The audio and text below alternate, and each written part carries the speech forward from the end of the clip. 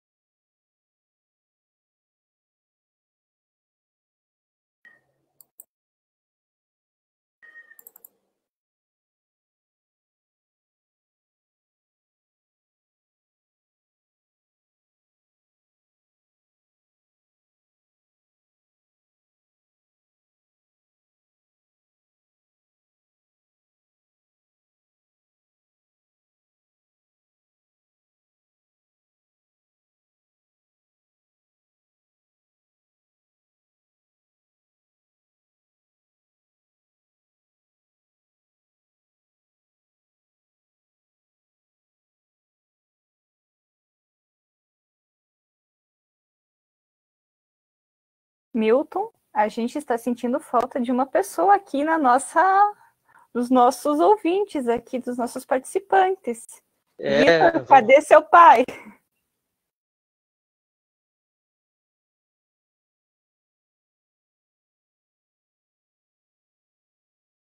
Vou fazer que nem aquele. Ah, ele está aqui.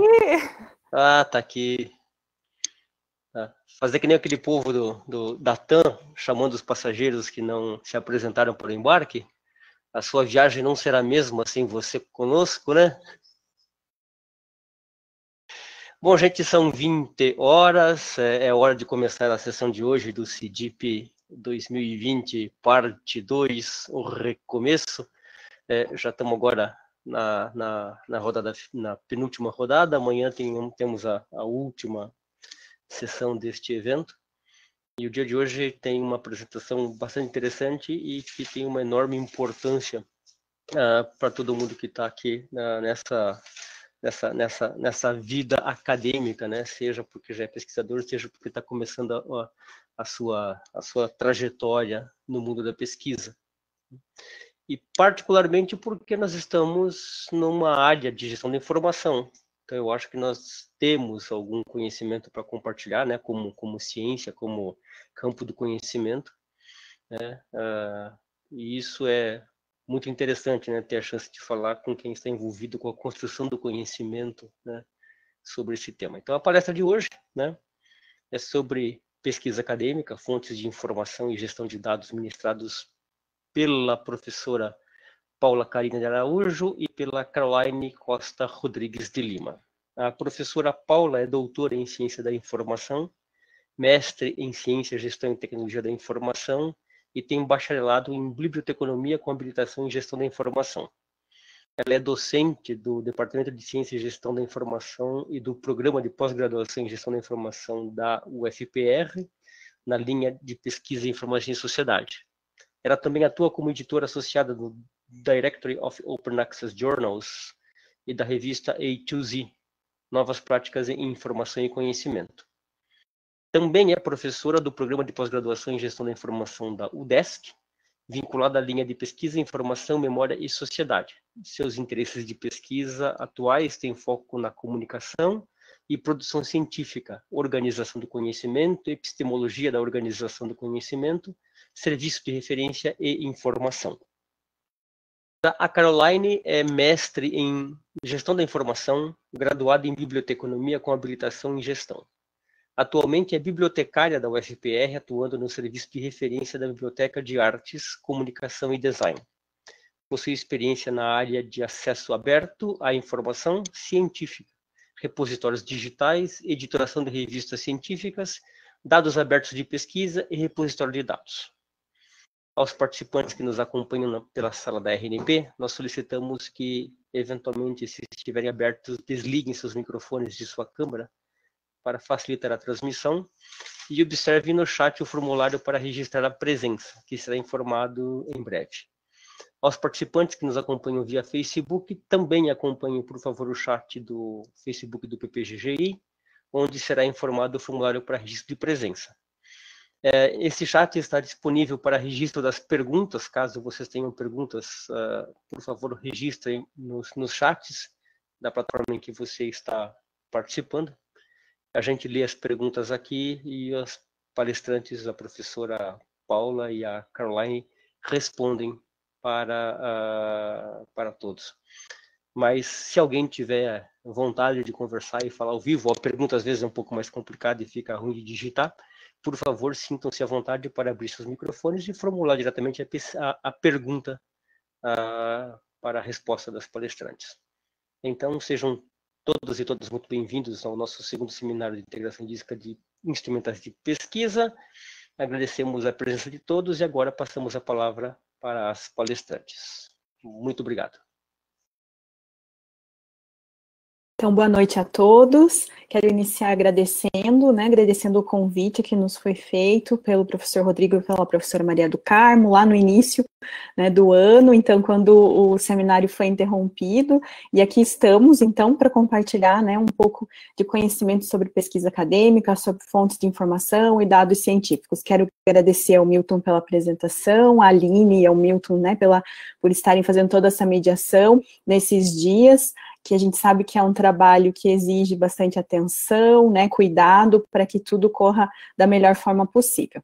Então, nós vamos falar hoje, como eu disse anteriormente, né, sobre a pesquisa acadêmica. É, a nossa apresentação está dividida em duas partes. Eu vou fazer uma parte introdutória, né, falando da importância da pesquisa e já falando um pouquinho da questão dos dados científicos, né, que nós produzimos, e nós sabemos que hoje, é, quando nós falamos em pesquisa, tudo é sobre dados, né, então, porque nós somos produtores, somos consumidores de dados, talvez algum tempo atrás não tínhamos é, tanto essa, é, esse foco, essa visão, é, mas hoje, pelo, pelo, no, pela nova é, economia, nova forma como a economia encara os dados, né, e também na academia, né, nós temos visto cada vez mais as agências de fomento, os programas de pós-graduação, falando sobre os dados que nós produzimos, é, que nós consumimos para é, gerar novos dados, novas pesquisas, é, e compartilhar o conhecimento científico.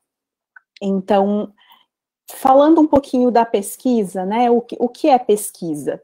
É, eu trouxe aqui uma conceituação da professora Leila Bufrem, né, que fala que a pesquisa é uma atividade básica da ciência, na sua indagação e construção da realidade. Ela é uma atividade orientada à busca de conhecimento e é um instrumento teórico-metodológico para construir conhecimento. Né? Então, nós vemos Aqui a palavra conhecimento, com destaque em dois desses, é, desses conceitos, dessas características da pesquisa.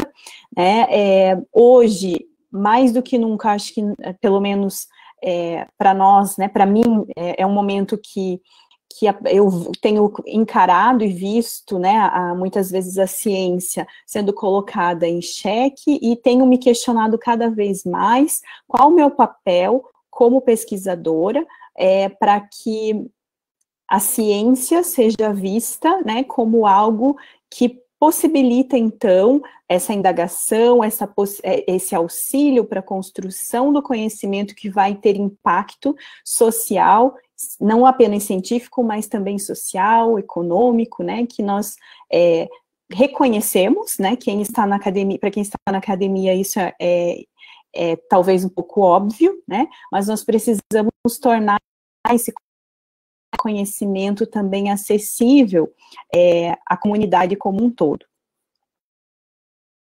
Então, nós podemos também falar de finalidades da pesquisa, né? Então, nós, é, quando nós falamos em pesquisa, em ciência, nós pensamos em produção de conhecimento novo e relevante.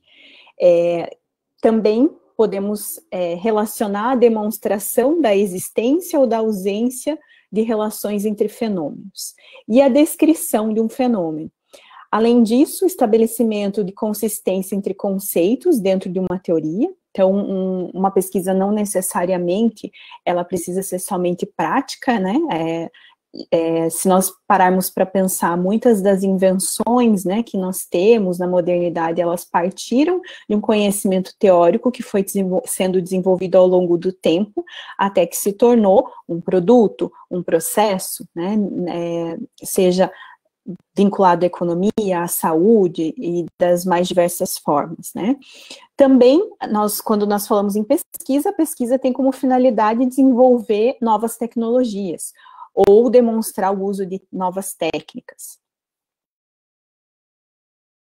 E aí nós também podemos falar em dimensões da pesquisa. Né? Então, quando é, nós, como pesquisadores, né, quando estamos, é, temos um insight de um novo objeto de estudo, de, um, de uma nova possibilidade de pesquisa, nós precisamos parar para pensar qual é a nossa contribuição. Né? A partir desse, dessa ideia que surge, qual vai ser a nossa contribuição? Então, é preciso demarcar um espaço de contribuição é preciso é, reconhecer e trabalhar para que haja construção de conhecimento. E para isso, nós precisamos, então, escolher uma metodologia adequada. E vocês vão ver que muito do que nós vamos falar hoje tem relação, é, uma relação direta com a metodologia de uma pesquisa. Né? Quais métodos eu escolho, quais fontes eu escolho, por que eu escolho essas fontes, tudo isso é, é, guiado e descrito, né, se nós pensarmos no documento final, que pode ser uma dissertação, uma tese, um artigo, é, ele é descrito numa seção que nós chamamos né, de trajetória metodológica, é, metodologia. E, por fim, a, a quarta dimensão, nós temos a questão ética. Então, ética com relação às fontes de informação, ao anonimato das pessoas, muitas vezes, que participam da pesquisa, e aos direitos autorais. Então, essas quatro dimensões precisam sempre estar muito claras, porque é a partir delas, né, que nós é, vamos poder trabalhar diretamente com as fontes de informação. Então, se eu quero demarcar um espaço de contribuição, quais fontes de informação vão me auxiliar para demarcar esse espaço? Quais fontes me auxiliam para construir o conhecimento? De que forma eu acesso essas fontes? É, e como eu posso fazer o uso dessas fontes? Qual é a forma é, ética de fazer uso dessas fontes? Ainda nós podemos falar em qualidade da pesquisa, né? E a qualidade da pesquisa, ela está ligada ao quão objetiva ela é, ao quão compreensível, também a qualidade tem relação com a questão da padronização, seja ela com relação à forma, quando nós falamos de normas, né? É, no Brasil, muito mais comum a norma da BNT, mas se nós pensarmos internacionalmente, a APA, por exemplo, e com relação à escrita, né? Nós é, existem convenções, padrões que guiam essa escrita, né, e a forma como ela é apresentada. E ainda a questão ética também está vinculada à qualidade da pesquisa. E claro que todos nós, como pesquisadores, buscamos produzir uma pesquisa que tenha qualidade, né, tendo em vista que nós é, pretendemos sempre criar um novo conhecimento, né, e demarcar esse espaço de contribuição. Então, uma vez é, contextualizada, né, o que é a pesquisa, suas finalidades e também a questão da qualidade, é, é importante nós refletirmos que, já que nós vamos falar hoje sobre fontes de informação, sobre dados científicos, que toda a nossa pesquisa, ela é guiada pelo uso das fontes de informação. Talvez no início a gente não tenha isso muito claro, né, mas no decorrer é, da vida de um pesquisador, da formação de um pesquisador, você começa a perceber que você define um tema a partir de um outro, de uma outra pesquisa que foi realizada anteriormente, porque o conhecimento, é, a produção do conhecimento acontece justamente dessa forma, a partir um conhecimento anterior criado, né? É, o problema vem é, de, um, de algo da sua realidade, de algo que você, de um gap que você viu na literatura científica, né? Então, e para você entender um pouco mais esse problema, a sua pergunta de pesquisa, você precisa acessar fontes de informação. O mesmo no momento de definir seus objetivos, para você ter certeza de que você está realmente propondo uma pesquisa que vai contribuir é, e vai é, demarcar um espaço de contribuição vai possibilitar a construção de conhecimento novo e relevante. É, então, quando a gente fala em tema, problema, objetivos, geralmente a gente está falando do o que da pesquisa, né? Quando nós pensamos como essa pesquisa vai ser realizada, nós estamos falando em metodologia, né? Na, então, nós temos tanto a definição do tipo de pesquisa, mas mais do que isso, né, é, a metodologia, a trajetória metodológica de uma pesquisa é a descrição do passo a passo dessa pesquisa. E para isso nós precisamos reconhecer outras pesquisas que utilizaram o mesmo método, ou nós precisamos é, estudar sobre aquele método, né, de onde ele surgiu. É, ele provavelmente surgiu é, da teoria, vinculada também à prática, mas como ele surgiu? Quem foram os primeiros a utilizarem aquele método? É, quando nós falamos em método, ele está muito ligado também às questões epistemológicas de um campo, né? É, aquele método surgiu por determinada necessidade de, de uma forma de criação de conhecimento dentro daquele campo, né? então, para isso, nós também precisamos recorrer às fontes de informação. Quando nós vamos justificar nossa pesquisa, não é, não é diferente, nós estamos dizendo o porquê da nossa pesquisa. Por que ela é importante para mim? Por que ela é importante para o programa de pós-graduação no qual eu estou inserida? Por que ela é importante para a minha comunidade, para a sociedade, para a ciência? Né? E isso eu vou descobrir à medida que eu consulto fontes de informação, vou me munindo de, de conceitos, de pensamentos de outras pessoas que vão dar sustentação para a minha pesquisa. Quando nós estamos elaborando uma pesquisa, eu acho que a parte que fica mais evidente, o uso das fontes, é a revisão de literatura que seria o com base em quê, né? Então, quem escreveu sobre aquela temática antes de mim?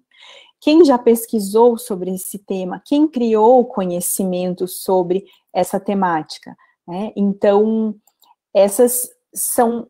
Eu, eu, quis trazer esse slide né, para demonstrar a presença das fontes de informação nas, de, nas diversas etapas da pesquisa. Por isso que quando nós construímos um projeto, geralmente, né, o orientador sugere que no seu cronograma você indique que você vai fazer o, o levantamento bibliográfico, a revisão de literatura, né, da, da, sua pesquisa, do início a praticamente os últimos meses, né, porque à medida que o tempo passa, especialmente no, no doutorado, no mestrado também, mas é um espaço de, de tempo um pouco mais curto, né, mas ainda assim, é, do início, lá do primeiro mês que você começa a pesquisa, até às vezes na semana anterior à sua defesa, você acaba descobrindo algum novo artigo que tem relação com a sua pesquisa, às vezes uma palestra, né, é, e assim por diante. Então, é, é, nesse sentido que eu trago, então, essa reflexão sobre a importância das fontes,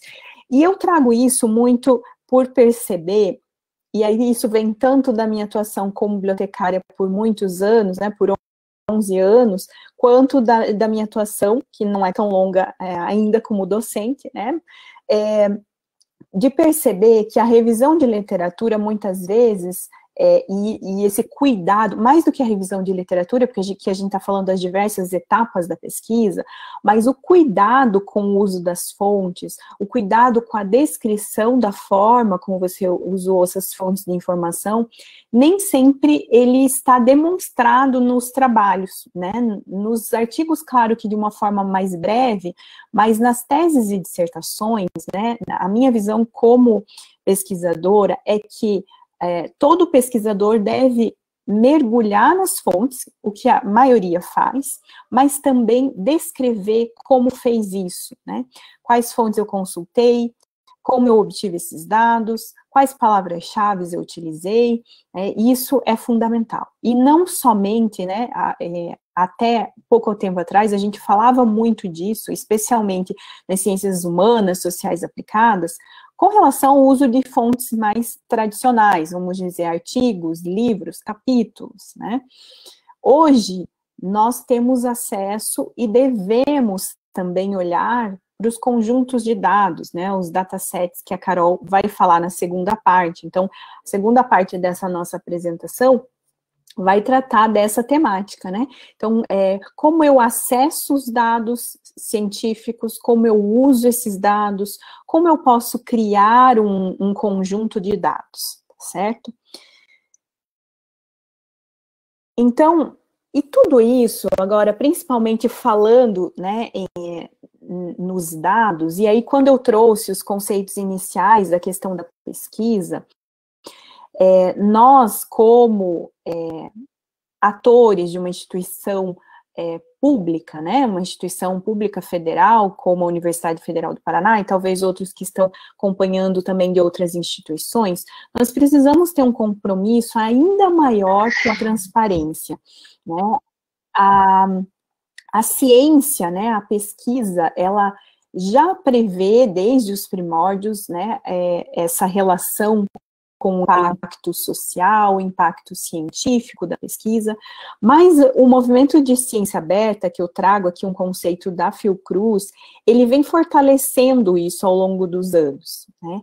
Então, e especialmente nesse último ano, quando nós é, estamos presenciando, né, como pesquisadores, é, a importância de, dessa transparência e da colaboração entre os pesquisadores de diversas partes do mundo, por exemplo, né, falando do exemplo bem próximo nosso agora, para é, descoberta de uma vacina, né, pro, então, para prevenção de, de um vírus, né. Então, a ciência aberta, ela é reconhecida como uma atividade que busca essa transparência do processo científico como um todo. Né? Então, é a ciência praticada de modo aberto, colaborativo, transparente, em todos os domínios do conhecimento. Então, não, não está restrito a uma área, né? ela é, é, é amplo, é pra, desde as ciências fundamentais até ciências sociais e humanidades. E nós, das humanidades e ciências sociais, né, precisamos é, olhar com bastante cuidado, né, para esse conceito, para esse movimento, e aí reforçando também como instituição pública, né, esse nosso compromisso de compartilhar o conhecimento de forma aberta, sempre que possível, né, e aí também a Carol vai fazer essa ressalva mais para frente com relação aos dados, né, que nem todo dado é aberto, né, não, não necessariamente, aí você depende do contexto da sua pesquisa. É, aqui eu trouxe rapidamente para demonstrar, né, então, é, existe essa taxonomia da ciência aberta, que prevê algumas dimensões, algumas práticas da ciência aberta, né, algo que é, já é bem comum e consolidado para todos nós, é, que é o acesso aberto à, à produção científica, né, então, a, a, produção em artigos, também livros, capítulos disponibilizados abertos, né, livres para as pessoas terem acesso, nós temos aqui uh, os dados abertos, que é o que nós vamos falar um pouquinho mais hoje, né? E, e já entrando né, nessa temática, então, como eu falei antes, hum, para as nossas pesquisas, nós podemos tanto utilizar dados que foram produzidos por outras pesquisas, né, é, para fundamentar como uma fonte de informação, então um conjunto de dados é sem dúvidas uma fonte de informação, e nós com certeza, todos nós que já escrevemos né, um artigo, uma dissertação, uma tese, já produzimos um conjunto de dados. Nem sempre nós tornamos esses conjuntos de dados disponíveis, acessíveis, mas nós sim produzimos, né? Todos nós temos lá, é, às vezes de forma bem simples, é, um conjunto de entrevistas transcritas, é, uma planilha com dados relacionados a determinado assunto, né? Então, o que nós necessitamos é olhar para essa possibilidade é, que a ciência aberta prevê é, de agilizar o processo científico, porque, porque falando especificamente na questão dos dados, o objetivo é possibilitar o reuso desses dados, né? Então, que eu compartilhe os meus dados para que talvez outro pesquisador possa fazer uso e dar continuidade àquela pesquisa, fazer novas descobertas.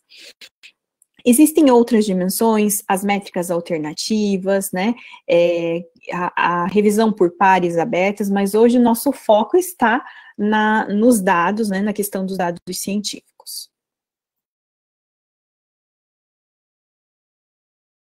Então, é, eu trouxe uma definição aqui de fontes de informação, né? Então, fonte de informação é qualquer recurso que responda a uma necessidade de informação.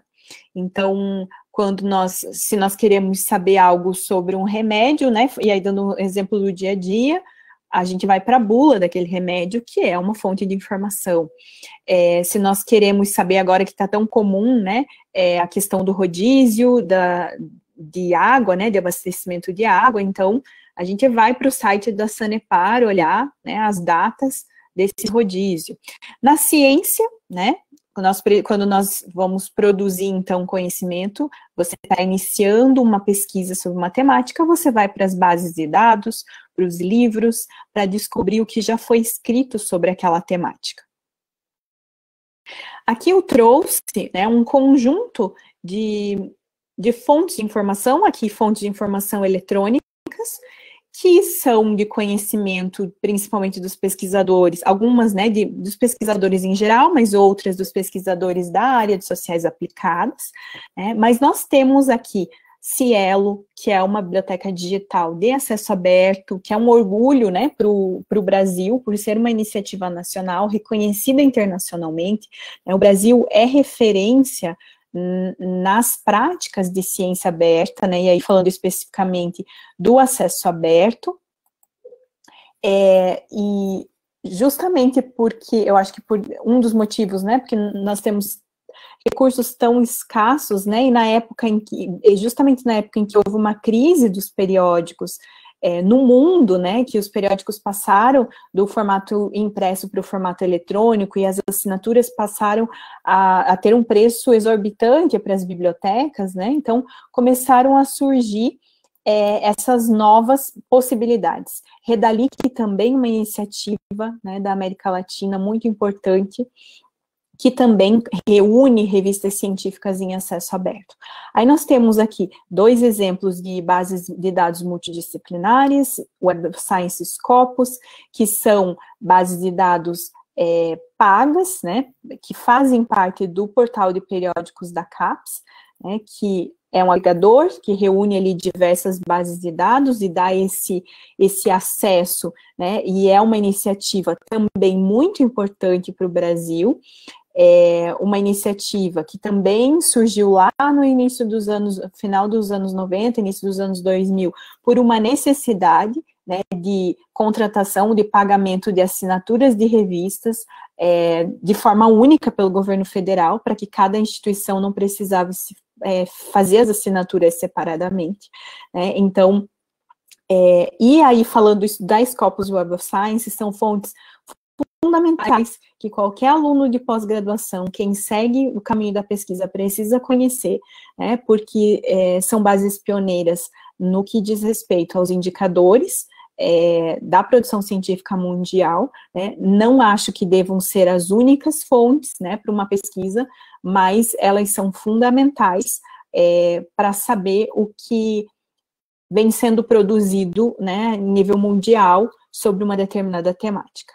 Aqui eu trouxe também a indicação da Business Source Complete, que é uma base de negócios, mas que tem, tem material, né, pelo que o nome diz, mas ela tem material da área de sociais aplicadas como um todo, é uma base que é assinada pela Universidade Federal do Paraná e que deve ser uma fonte importante de pesquisa para todos vocês. Recentemente, o Sistema de Bibliotecas assinou a Minha Biblioteca, que é uma plataforma que reúne e-books, né? Então, ali vocês vão ter acesso a uma infinidade de e-books, especialmente nacionais. Né? Então, vem muito para suprir uma necessidade de bibliografia da graduação, mas que tem material é, acessível e importante também para pós-graduação. É, trouxe também o exemplo da SPEL, que é uma, uma iniciativa também bem importante, né, focada mais para a área de, de administração, mas que tem material também relacionado, né, sociais aplicadas no geral, e é, a Dimensions, que nos últimos anos tem ganho é, um destaque, né, que ela acaba sendo um serviço de descoberta que reúne vários artigos, né, na verdade, material em acesso aberto. Acho que também tem conjuntos de dados na Dimensions, se não me engano. Então, aqui eu trouxe alguns exemplos, e para demonstrar como é, é importante vocês conhecerem, né? Todos nós conhecemos essas fontes. É, e temos muito cuidado quando vamos fazer uma pesquisa em dizer não, não existe nada publicado sobre determinada temática. Né? Esse não existe nada no momento em que nós temos acesso ao mundo por meio da internet é bem complicado. Né? Então, é, o nada, que é esse nada? Né? Onde você procurou para identificar que não há nada produzido sobre determinada temática. Então, aqui, é, e aproveito para destacar, né, que é, a, as bibliotecas do CIB estão preparadas para dar orientação sobre o uso de qualquer uma dessas bases. Então, nós, como pesquisadores, docentes, alunos, podemos pedir uma orientação individual, uma orientação em grupo para um bibliotecário. Né? Então, é, essa é um, uma outra forma, né? Então, ah, eu preciso fazer um levantamento nesse Scopus, não sei como fazer. Claro que hoje também existe canal no YouTube de várias instituições dando essa orientação, mas às vezes eu tenho uma dúvida pontual. Né? Então, se você não, muitas vezes, às vezes não consegue sanar a dúvida com seu orientador, com um colega, existe né, essa possibilidade também de consultar a biblioteca né? É, e aí eu acho importante trazer essa visão, né? Que a biblioteca não é só o local para a gente encontrar, é, buscar os livros, né? É o local para a gente pedir auxílio para o uso de fontes de informação. Então, já que a gente está falando né, sobre fontes de informação hoje aqui. É, eu já falei um pouco antes, mas, então, pensando que hoje, quando nós falamos de pesquisa, tudo é sobre dados, né? Então, e nós temos recebido a cada dia mais, uma cobrança maior, né, nesse sentido. Então, existem periódicos científicos que já recomendam o compartilhamento dos dados da sua pesquisa e provavelmente em pouco tempo não vai ser mais uma recomendação, mas uma exigência.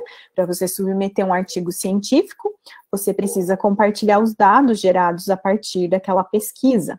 Não só isso, mas também nós precisamos compreender, e esse é, é um dos objetivos da, que, da nossa apresentação, que a Carol e eu, e eu trazemos, que é de que nós precisamos também começar a pensar sobre o uso dos dados. Uso dos dados como fontes de informação para as nossas pesquisas. Nós, como eu, reforçando, né, isso que eu que eu estava dizendo, nós somos produtores de dados científicos, né? Todas as pesquisas geram um conjunto de dados que podem ser compartilhados com a comunidade científica. Mas claro que para que isso seja feito, existe forma. Lembram quando eu falei lá do início, né?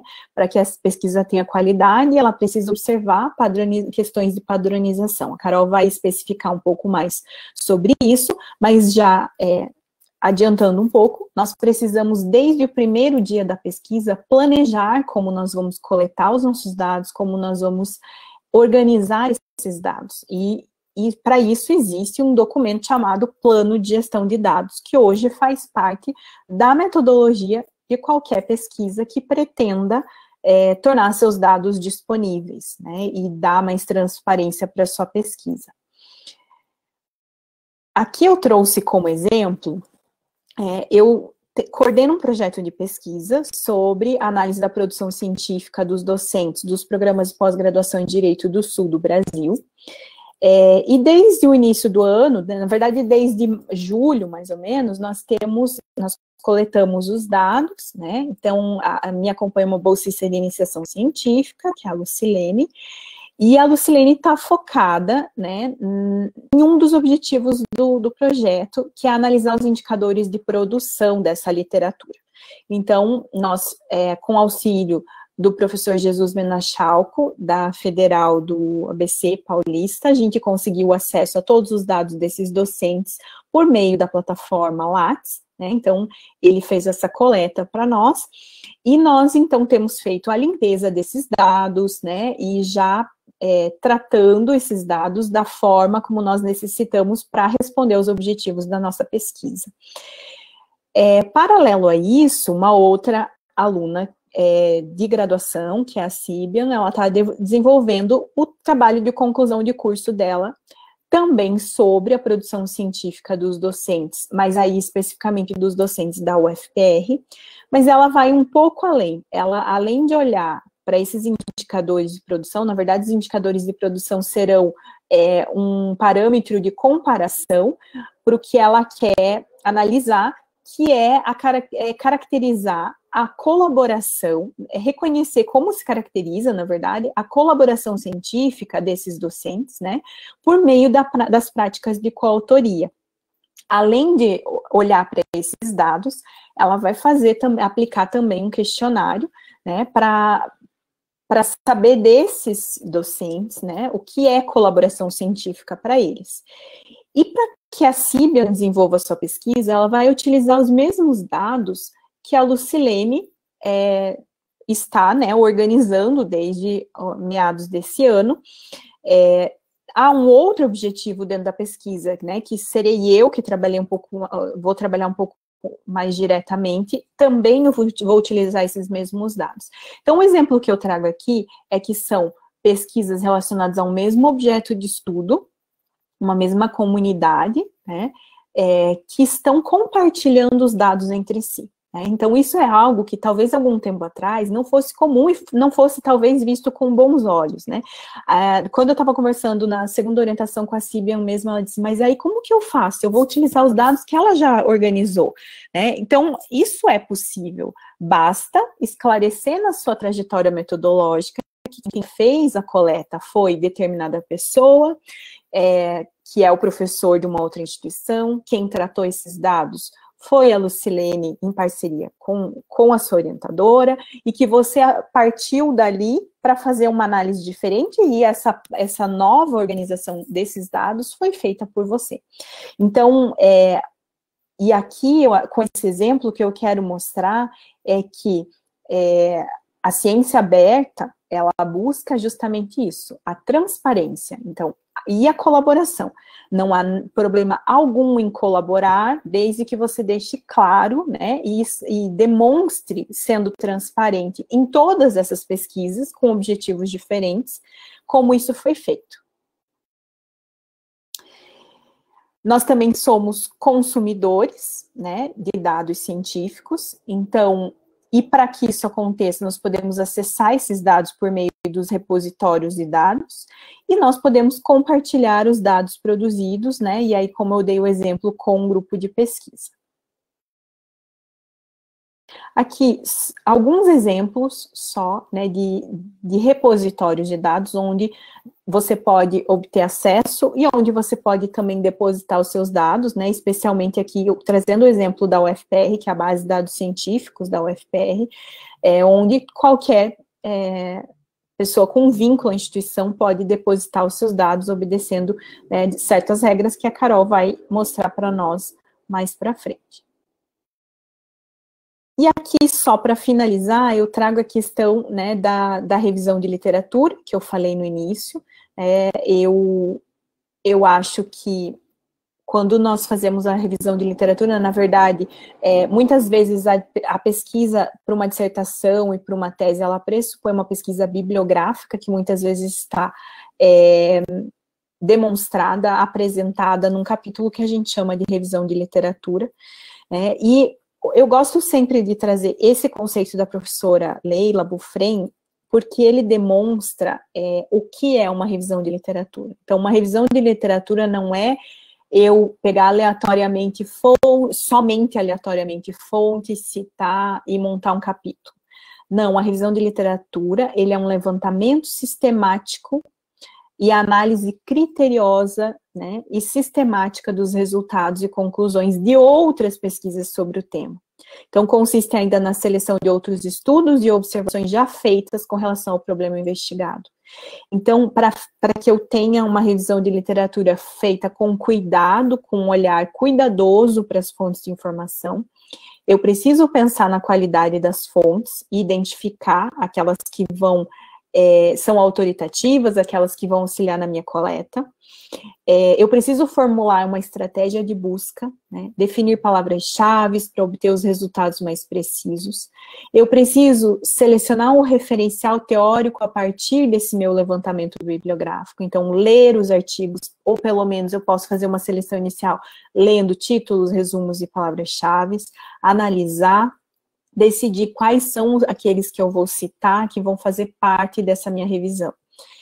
e documentar tudo isso na trajetória, né, da metodológica, nessa trajetória da sua pesquisa, ou seja, descrever o passo a passo, né, porque a revisão de literatura, ela é sistemática, então ela precisa ser demonstrado como, como isso foi feito, quais bases eu consultei, quais palavras-chave eu usei, qual a combinação dessas palavras-chave, eu tenho um período de tempo estabelecido, um recorte temporal, eu busquei só por literatura de um determinado país ou não, isso tudo precisa estar descrito, né, e também aqui faço um, uma ressalva, que isso não é um estudo bibliométrico, muitas vezes as pessoas confundem esse levantamento é, sistematizado, né, com, ré, com, com fluxo estabelecido com o estudo bibliométrico. Ele não é um estudo bibliométrico, né? Isso é tema para uma outra conversa. É, então, lembrando que nós temos as fontes tradicionais que nós já utilizamos há muito tempo, nós precisamos olhar com atenção para os conjuntos de dados que podem também nos auxiliar nas nossas pesquisas. Deixa eu voltar aqui. E aqui, então, as referências dessa parte da apresentação. E agora eu passo o tempo, então, para a Carol, da continuidade. A segunda parte, que, como eu falei, é falando um pouquinho mais sobre os repositórios de dados, né? Como formular um dataset, é, como compartilhar esses dados também.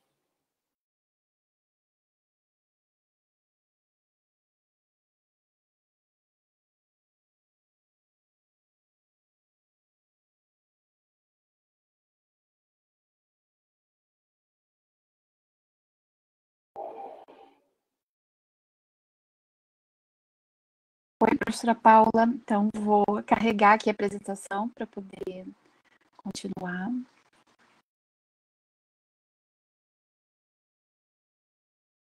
Boa noite, pessoal. Agradeço também imensamente o convite do professor Rodrigo, da professora Maria do Carmo, e aqui né, a recepção da Aline, do Milton. Muito obrigada a todos que, nos, que estão nos acompanhando aqui né, pela conferência da RNP e também pelo Facebook, principalmente numa noite, né, já terça-feira, 8 horas da noite. É, eu vou complementar um pouco, então, do que a professora Paula comentou, falando mais especificamente de dados científicos de pesquisa como uma fonte de informação confiável. Então, nesse sentido, a gente vai apresentar aqui os tipos de repositórios de dados, né? Quanto ambiente de armazenagem, disponibilização e acesso aos dados científicos de pesquisa. Vou contextualizar um pouco e apresentar alguns exemplos.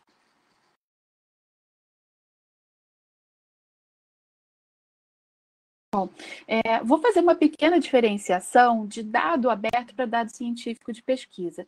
Muito embora, como a professora Paula já tenha falado, quando a gente está pesquisando, é, a gente produz sim dados, mas a gente também utiliza dados de outras fontes em nossa pesquisa.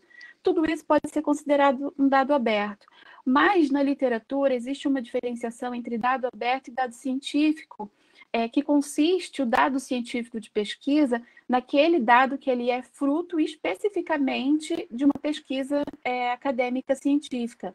Enquanto, por outro lado, um dado aberto ele pode ser, na maioria das vezes, caracterizado como um dado governamental, um dado uh, produzido por uma prefeitura a respeito, por exemplo, uh, do serviço de transporte, ou aqui no caso, em Curitiba, o serviço do 156, que gera dados de diversas demandas né, da comunidade. Então, só para poder deixar claro né, que os dados abertos são resultantes de qualquer fonte, podendo ou não ser científica. E os dados científicos de pesquisa são resultantes da atividade científica. É, mas eu estou trazendo aqui uma definição muito simples. A literatura ainda não encontrou uma, um conceito preciso para definir dado científico de pesquisa, porque um dado ele pode ser tudo, né? Ele pode ser um dado uh, meteorológico, ele pode ser um dado de uma pressão sanguínea, ele pode ser uh, uma amostra química, de uma propriedade física ou química, enfim, existe uma diversidade. E o que dá, é, no caso, contextualização, que dá o conceito, que define o conceito de dado, é sempre a contextualização. Ou seja, aonde que está sendo tratado? Né? Esse dado está vindo de qual área do conhecimento? Ele está apoiado por qual suporte? Então, o conceito está sempre relacionado ao contexto. Então, só para a gente deixar claro aqui que a professora Paula e eu estamos falando de dados científicos de pesquisa e não dados abertos de modo geral. Então, aqui a gente vai trazer né, os repositórios de dados enquanto ambiente é, específico para submissão de dados científicos de pesquisa. Então, a gente vai trazer fontes confiáveis, né? E o que, que proporciona? Quais são os benefícios de você depositar o seu dado originado da sua atividade científica dentro dos repositórios? Permite, né, em primeiro lugar, um armazenamento uh, num local confiável, né? é, permite que seja feito o versionamento desses dados, ou seja, vocês estão lá no começo da pesquisa de vocês, montaram um plano de gestão de dados, e conforme essa pesquisa, sua individual ou do seu grupo de pesquisa, vai evoluindo, vão ter novas versões desses dados, novas modificações. Então, tudo isso você pode manter lá o histórico, desde o começo da sua pesquisa até o final até para ver como caminhou esse seu dado, como caminhou essa análise, né, essa interpretação de dados. Então, uma possibilidade muito importante, muito relevante, é o versionamento. Permite também um ambiente de compartilhamento, ou seja, seu dado está lá e você quer compartilhá-lo com outro pesquisador ou com outro grupo de pesquisa ou até mesmo no seu currículo Lattes ou em outras plataformas, ele vai estar tá lá depositado, o dataset, né, vai ter um identificador persistente por meio do qual você vai uh, fazer o compartilhamento e até poder fazer o rastreamento do uso desses dados depois. Outro fator importante também do depósito de dados em repositórios é a preservação digital, seja a longo prazo, durante o momento da pesquisa, ou a longo prazo, né? É, essa temática de dados não é nova, mas ela vem sendo tratada de uma maneira com mais afinco agora, principalmente no Brasil. Por quê? Porque a gente tem um grande tesouro dentro das nossas máquinas, dos nossos HDs, dentro dos laboratórios, que são todos esses dados, ou seja, é, o pesquisador ele toma o cuidado de manter aquele dado ao longo da pesquisa e quando ele produz o relatório, tese, dissertação ou paper, aqueles dados ficam lá guardados no seu HD, então eles vão sumindo, vão desaparecendo. E com isso a gente perde também parte da memória científica, o que impossibilita, de repente, a atualização desses estudos mais para frente, ou a criação de séries históricas que vão uh, dizer de uma maneira mais clara né, o comportamento de determinada amostra ou população ao longo do tempo, né? E essa preservação, o serviço de preservação digital que existe nos repositórios, não apenas a nível de backup, mas a nível também de encapsulamento, de transformação desse dado é, para novos, novos formatos ou novas extensões que vão mantendo a qualidade e a possibilidade de abertura desses dados no futuro. E também o principal dos dados científicos, que é poder promover o reuso dos dados. É, não faz sentido eu ter um repositório, compartilhar os meus dados científicos, se eu não vou possibilitar o reuso, ou seja, possibilitar que outros pesquisadores façam novas análises, novas descobertas, ou reusos desses dados, como a professora Paula apresentou ali anteriormente é, no projeto de iniciação científica e no projeto de trabalho de conclusão de curso. Ou seja, você vai dar vida a esse dado, ele vai se transformar, ele vai se agregar ao outro. E o repositório ele é a plataforma confiável, né? Dependendo da, da instituição, para o pesquisador poder fazer o depósito desses dados e garantir assim, a integridade dele ao longo do tempo. Então, a gente vai apresentar aqui os tipos de repositórios de dados, né? Nós temos os multidisciplinares, ou seja, repositórios como a base de dados científicos da UFPR, que contempla dados em diversas áreas do conhecimento, os dados disciplinares, os repositórios disciplinares, que contemplam determinadas áreas é, bem específicas, né? E os repositórios genéricos. Isso numa abordagem ampla, tá? Geralmente a gente nunca tem muito tempo para discutir específico, espero que a gente possa ter. É, então, aqui, como exemplo de repositórios genéricos, eu trago acho que os mais conhecidos, né? O Zenodo, que é o repositório criado por uma iniciativa europeia da OpenAir, né, que visa a abertura dos dados científicos e principalmente o reuso desses dados. É, o Figshare, que é um repositório aberto para dados científicos e dados de modo geral também, É, a gente tem o Mendeley Data, que é uma versão do Mendeley, né, gerenciador bibliográfico com funções de rede social, para disponibilizar também os datasets dos pesquisadores, porque o Mendeley é aquilo, você coloca artigo, você coloca material, coloca é, paper e coloca dado lá também. Então, por que não usar o Mendeley como uma plataforma para impulsionar é, o compartilhamento e reuso de dados de pesquisa? E a gente tem o GitHub, né, gente? O GitHub é aquele diretório maravilhoso que tem de tudo um pouco. É, geralmente ele tem né, é, diretórios de código fontes, muitas vezes de sistemas, de códigos, de projetos, mas também tem, a gente encontra lá dados científicos de pesquisa. Não está completamente assim, numa estrutura, vamos dizer, é, é, disciplinar, né? Você tem um pouco de trabalho para procurar, mas também é uma fonte válida. Eu não vou citar aqui, né, Google, mas o pessoal também usa o Google Drive, usa o Dropbox, porque esses eles são, muito embora o Mendeley, o Figshare, principalmente o Mendeley, o GitHub, GitHub é, o pesquisador ele possa fechar esses dados, né?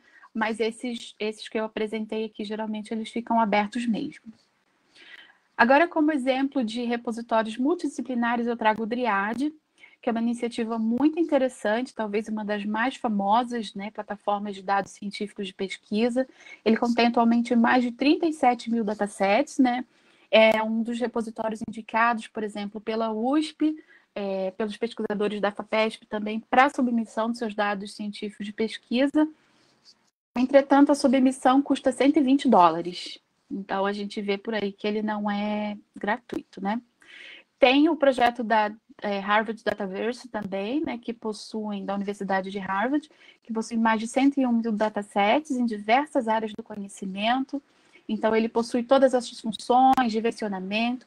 Qualquer pessoa pode entrar lá, criar uma conta, fazer download, fazer versionamento desse projeto. Ou seja, eu tenho um projeto lá com dados, eu posso baixar esses dados, trabalhar no meu projeto e submeter novamente esses dados dentro desse projeto fazendo um versionamento dele, né?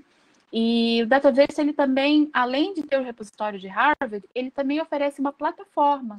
É uma plataforma de repositórios de dados que é amplamente utilizada ali no mundo, está competindo ali com o Space, né, com muito mais instâncias é, como repositórios de dados. A gente né, também vai falar aqui das iniciativas né, de ciência aberta da casa, então a gente traz a base de dados científicos da UFPR, que foi lançada é, em dezembro de 2017, que, seguindo essas iniciativas que a universidade já tem no movimento de acesso aberto, informação científica e da ciência aberta, foi uma base de dados construída para os pesquisadores incluírem os seus dados e compartilhá-los né, com, a, com, a, comunidade interna e externa. É, os pesquisadores com vínculo, né, é, seja professor, técnico administrativo, docente, com vínculo com a universidade ou com vínculo, por exemplo, um aluno que terminou seu doutorado. Então, até cinco anos depois da sua formatura, vamos dizer assim, ele consegue fazer depósito dos seus dados, porque durante esse período de cinco anos ele ainda está vinculado à universidade, então pode fazer o depósito, que eu vou explicar um pouquinho mais para frente como funciona. Temos também o CEDAP, que são os dados científicos da Universidade Federal do Rio Grande do Sul, também uma abordagem multidisciplinar que utiliza o mesmo software que a base de dados científicos, que é o Space. É, temos também, mais recente agora, é, o repositório de dados do Instituto Federal Goiano, né, que é uma iniciativa muito interessante também para poder disponibilizar os dados científicos de pesquisa. No contexto internacional, temos o DataShare também, da Universidade de Edimburgo, que tem mais de 3 mil datasets, também ele é gratuito para visualização, para baixar, né? É, tem mais dados na área de humanidades, ciências sociais, engenharia é, e medicina. Só que ele é bem interessante, eu acho que dado pela própria região, ele tem muitos dados é, na área de arte, principalmente na parte arquitetônica, de castelos, construções no interior, né? Então é muito interessante, porque geralmente existe uma carência na área de, na área de artes, né, é, de repositórios de dados, porque, como eu falei no começo, quando o dado ele é tratado dentro do seu determinado contexto, então dados nessas áreas de arte, de performance, eles têm uma outra caracterização, né? Então, acaba-se às vezes confundindo o dado na área de arte com o suporte. Então, por exemplo, eu tenho uma performance e eu faço o registro dessa performance em foto ou gravação de vídeo, por exemplo. Então, dado ele é o quê? Ele é uma foto, ele é a gravação, ou ele é o conteúdo, que no caso é a performance. Então, é só um exemplo para apresentar que a gente tem nessa parte, né? Mas existe uma carência uh, nessa área. Aí eu trago também aqui uma iniciativa pioneira, que é o Deep, Deep, Deep, Blue Data, que é da Universidade de Michigan, e eu ouvi falar desse repositório num evento que eu fui uh, no Rio Grande do Sul em 2010. Então, eu ouvi esse tema lá e eu fiquei encantada. Eu falei, nossa, que interessante realmente, né? Porque esses dados que os pesquisadores produzem em suas pesquisas, é, eles são um capital importante, né? Ele tem um valor. É, e eu vi esse, esse assunto lá em 2010 e fiquei muito interessada. E muito embora é, esse assunto já fosse discutido internacionalmente, começou a partir dali, né, ser discutido dentro do Brasil. Então, esse é um repositório de referência também. E a gente tem o, universidade, é, o repositório de dados, de da Universidade de Purdue também, nos Estados Unidos, né, que também é um, um repositório pioneiro. Também ouvi falar dele lá atrás, em, em 2010, e é um repositório multidisciplinar, completo, uh, apresenta identificador persistente para os seus dados, é, proporciona também versionamento. É, só um parêntese, gente. Eu não trouxe aqui, a, a nossa ideia não foi esgotar né, a totalidade de repositórios disciplinares, multidisciplinares, porque assim, existem diversas ofertas. Mas quando a gente para para identificar, poxa, o que é um repositório de dados, a gente identifica primeiro, primeira coisa, se ele tem dado científico ali também, ou se ele é, na verdade, um repositório de publicações. Muito embora a distinção seja clara, ainda há alguma confusão, né? A respeito entre repositório institucional temático de publicações e repositórios de dados. Aí aqui, entre os repositórios é, multidisciplinares, eu trago, a gente traz aqui os metabuscadores. Então, por exemplo, tem o DataSite, que o DataSite ele é um metabuscador e ele é uma plataforma e ele também é uma plataforma que oferece né, esquemas, padrões de metadados para disponibilização de dados, de citação, né, de visibilidade. Então, é uma iniciativa muito interessante. A gente tem um repositório brasileiro que utiliza essa plataforma do DataSite como replicação, né? A gente tem a Open Science Foundation também, que cumpre ali mais ou menos o mesmo, mais ou menos, perdão, falo muito rápido, o mesmo papel da DataSite, que é um metabuscador de dados, ele tem ali operacionalidades como workflow para gestão de dados, repositórios, faz também integração com outras plataformas, como Dropbox, Google Drive, entre outros. E a gente tem uma iniciativa brasileira muito interessante, que é do consórcio né, da FAPESP, que integra, que reúne as universidades é, estaduais paulistas. É, essas universidades ainda estão elaborando os seus repositórios de dados. No entanto, vamos colocar assim, a grosso modo, para não perder tempo, eles desenvolveram um metabuscador que faz a coleta de dados dentro dos repositórios de publicações ou já dos repositórios de dados dessas é, universidades do estado de São Paulo e fornecem ali uma interface de busca para poder apresentar os, os dados científicos dessas instituições. Então, é uma, é uma iniciativa muito interessante, também pioneira na área de dados, né? E mostro ali o diretório R3 Data, que é um diretório que concentra diversos repositórios de dados de pesquisa. Então, você pode buscar ali por país, pode buscar por assunto, pode buscar por tipo de material, né? Geralmente, quando a gente começa uma coleta de é, procurar repositórios de dados, é ali que a gente vai primeiro, porque ali ele tem, vamos dizer assim, é uma porta, né? Para mostrar para a gente os repositórios em diversas é, áreas do conhecimento e tipos de datasets, né? Então ele tem uma, um esquema bem interessante ali por assunto, então você consegue pesquisar e visualizar os repositórios por área do conhecimento, sub-áreas e áreas dentro dessas áreas. Então ele é outra, outro tópico importante se tratando de repositório de dados. E agora, então, os repositórios disciplinares, né? É, tem o PPBio do INPA, que é um repositório de dados na área de biodiversidade amazônica. Ele utiliza, utiliza por exemplo, o software MetaCat, utiliza também plataforma da DataSite. É um repositório riquíssimo, com cerca de 591 conjuntos de dados sobre a biodiversidade, sistemas biológicos da região amazônica. É um repositório importantíssimo, internacionalmente é, reconhecido. A gente tem também o um repositório recente é, da PUC Rio, de dados, que está focado na área de engenharias. A gente tem o GeoBank, né, que é da parte de sequenciamento de genético, DNA, que já é conhecido, né, que já, que já é bem antigo, então ele tem centenas de milhares né, de, de códigos de sequenciamento genético. E a gente tem uma, uma iniciativa da FAPESP, né, que é o repositório deles é, de dados especificamente sobre Covid. Então, ele surgiu como uma iniciativa rápida para poder prover dados né, nesse contexto agora da pandemia da Covid de 2017 e compartilhar esses dados que estão sendo produzidos é, por diversos hospitais, institutos de pesquisa, Fiocruz, Albert Einstein, né, como maneira rápida de disponibilizar esses dados para os pesquisadores dessa área da, da ciência.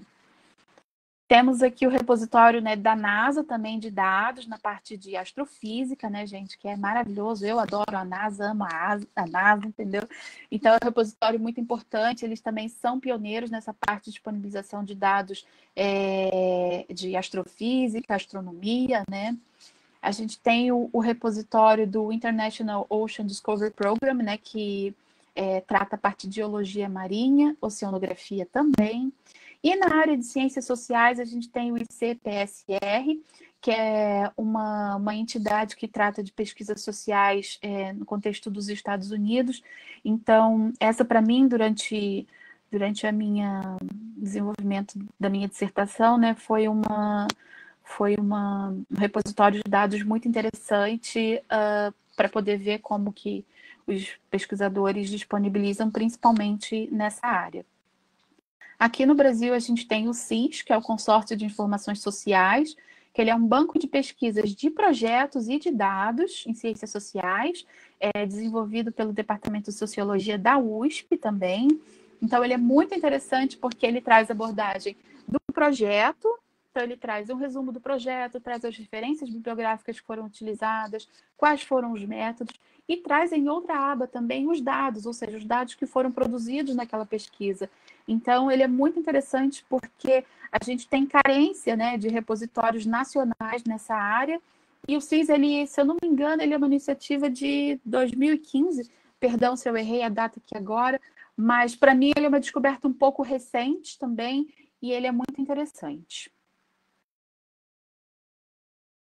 Trago aqui também outros repositórios que são mais famosos, né, como o IMET, né, é, do Instituto Meteorológico e do IBGE, porque, muito embora o pessoal possa falar, ah, mas ele é um dado aberto. Sim, mas ele também é um dado científico, né? Porque é, esses dados eles provêm de pesquisas é, geossociais, geoeconômicas, né? E são base, né, gente, para para embasamento para diversas pesquisas científicas né, e levantamentos.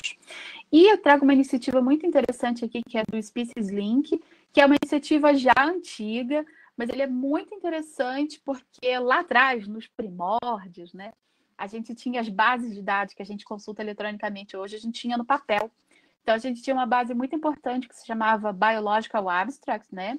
Que tinha lá a publicação, por exemplo, uh, uh, uma espécie de uma planta. Então, tinha publicação, você tinha o nome da planta, o nome científico, onde que foi publicado.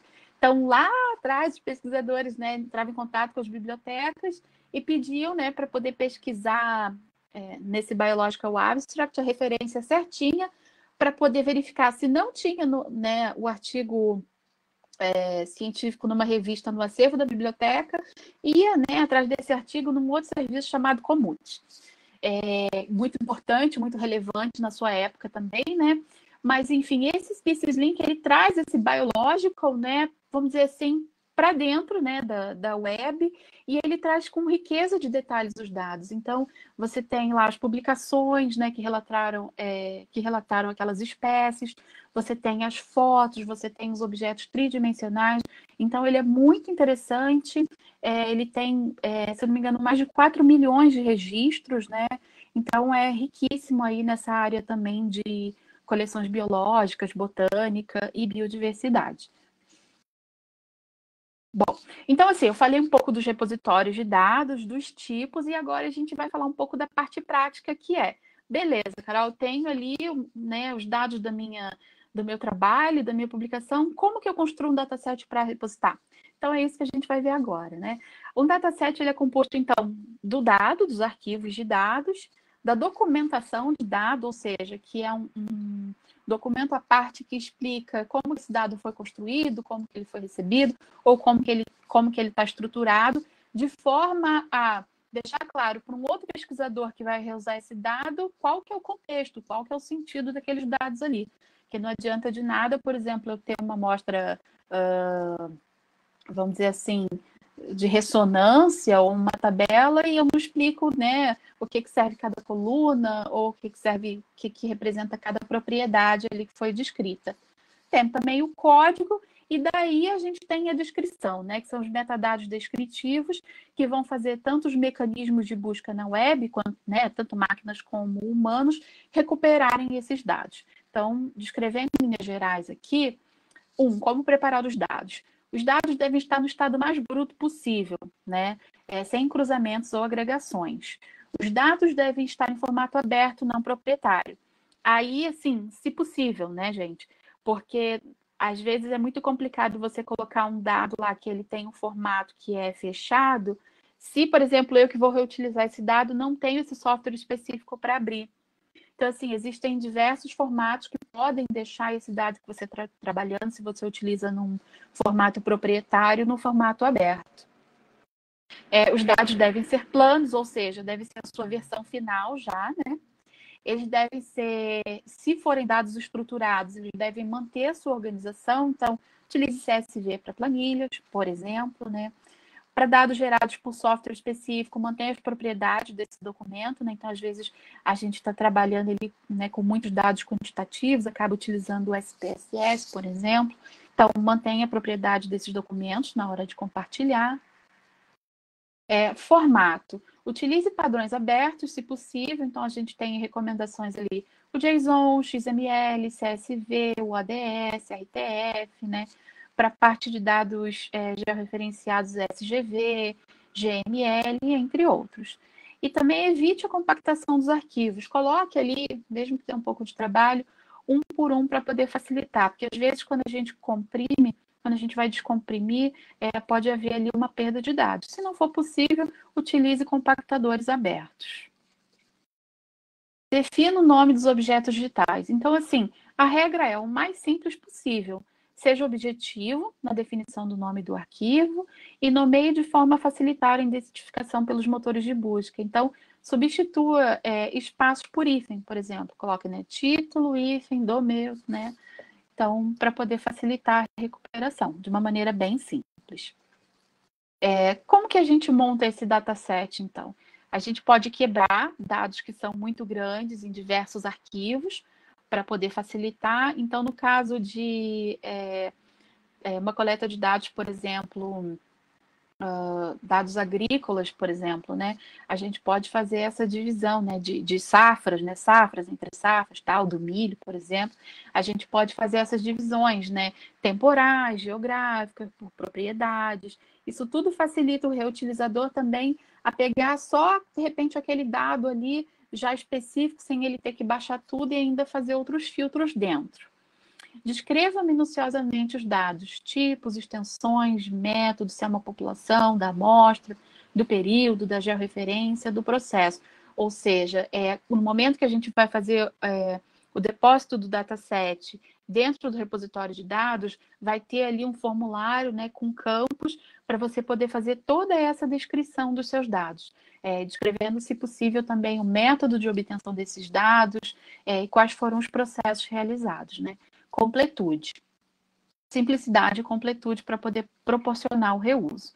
É, e quinto, a documentação. Então, como eu falei lá no começo, né, documente o dataset criando um arquivo separado com instruções de uso, contexto e referência. É muito importante que o autor desse dataset, ele defina ali também como que ele quer que seja feito né, o uso desse dado ou como ele não quer, ou dando a contextualização desse dado, dizendo para que, que serve. É, durante a, a, minha pesquisa né, na dissertação, é, muitos pesquisadores é, disseram que se sentiriam muito mais à vontade em compartilhar os seus dados se eles pudessem acrescentar condições de acesso. Então, essas condições de acesso vão estar descritas ali, tanto na documentação quanto no tipo de licenciamento que vai ser conferido para o dado. Aí vem o item 6, né, que é o licenciamento, que, vamos dizer assim, é um dos principais, né? Então, é, defina o tipo de licenciamento utilizando licenças de domínio público ou Creative Commons. Então, assim, gente, é, quando a gente define o licenciamento, a gente tem lá a Creative Commons, ela tem seis, tem seis tipos né, de Creative Commons. Então, ela pode ser da, da mais aberta, vamos dizer assim, que é a zero, que é uma renúncia total, ou seja, eu disponibilizo o meu dado de uma maneira completamente aberta para quem quiser utilizar, modificar, agregar, compartilhar, inclusive fazer uso comercial, ou então eu posso ir restringindo isso, né, de uma maneira que não faça uso, comer é, uso comercial, não faça obra derivativa, não compartilhe, não modifique, né? Então, assim, depende do nível de profundidade que a gente quer dar para a abertura desse dado. É, claro, né, como, como uh, um princípio, né, vamos dizer assim, de, de filosofia da ciência aberta, nós acreditamos que é interessante compartilhar o dado, né, pelo menos se não der para ser de todo aberto, zero, é, pelo menos utilizando a licença CC BY para poder conferir a autoria para esses dados.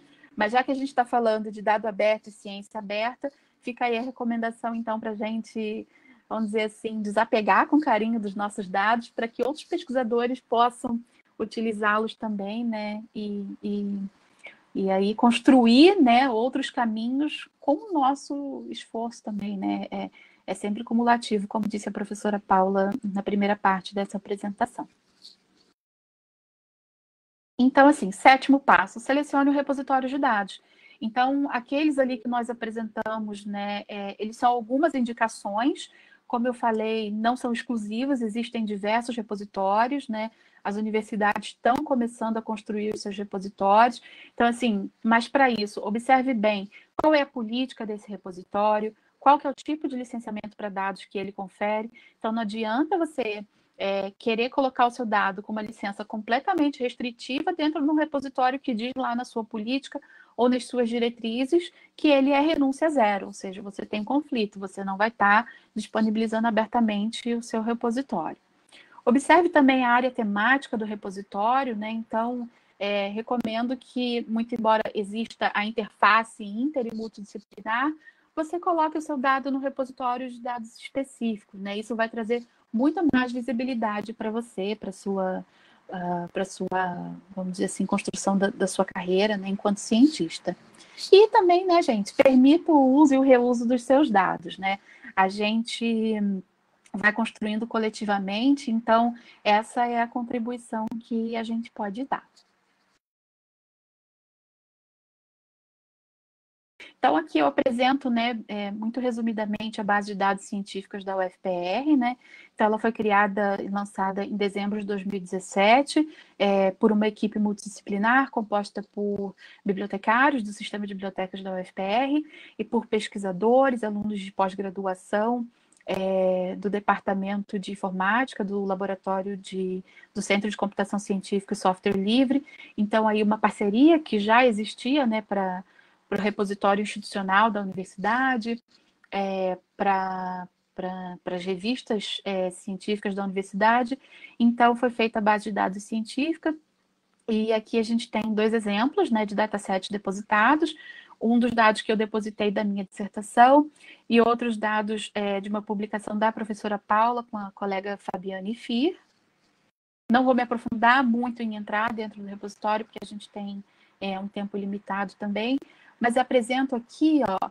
Então, é, essa daqui já é na tela de resumo do dado, aquilo que eu falei para vocês. Então, eu coloquei ali é, a minha survey, né? Então, o, o, o, questionário que eu usei, o instrumento de coleta de dados que eu utilizei, coloquei ali os resultados e coloquei a documentação do meu dado. Então, quem for ali utilizar os dados vai abrir ali a documentação e vai ver como está a estrutura. E aqui, ó, muito embora esteja um pouco pequeno, é, são a, é a descrição, né? É o dado documentado ali da professora Paula com a, com a Fabiane.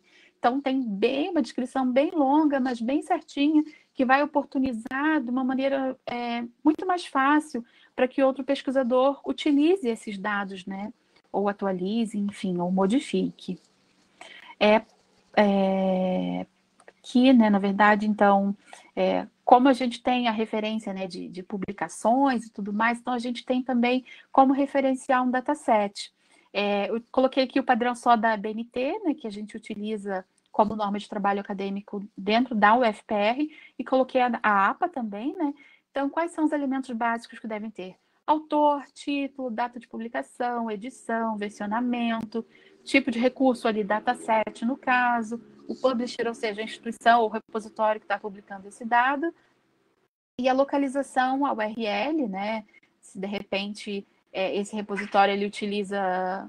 A minha gata está louca aqui atrás. Utiliza o Handle ou utiliza o DOI, né?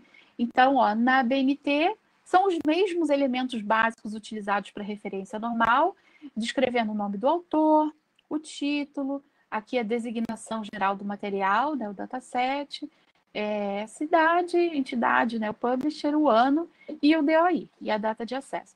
E aqui o exemplo da professora Paula, já no formato da APA, né, também com o DOI. Assim, super simples, é, um, é uma referência muito parecida com os modelos utilizados para publicações é, de papers, teses, dissertações ou livros.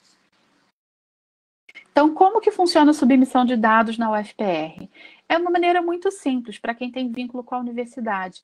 É, essa pessoa ela pode encaminhar um e-mail para bdc.fpr.br, solicitando ali, vai relatar qual que é o seu nome, né? É, que tipo de dado que é submetendo no repositório. Então, o suporte vai criar um cadastro dentro do repositório de dados para essa pessoa e vai encaminhar por e-mail os procedimentos para submissão. E também vai dar todo o suporte e acompanhamento de dúvidas para submissão dos dados. É, então, aí o pesquisador vai receber no seu e-mail é, um login e uma senha para submeter o dado. A partir disso, ele mesmo entra, preenche os formulários descrevendo os metadados desse dado de uma maneira mais completa possível. E aí o dado ele faz o upload né, do seu conjunto de dados, ou seja, quanto for, quantos dados forem, né?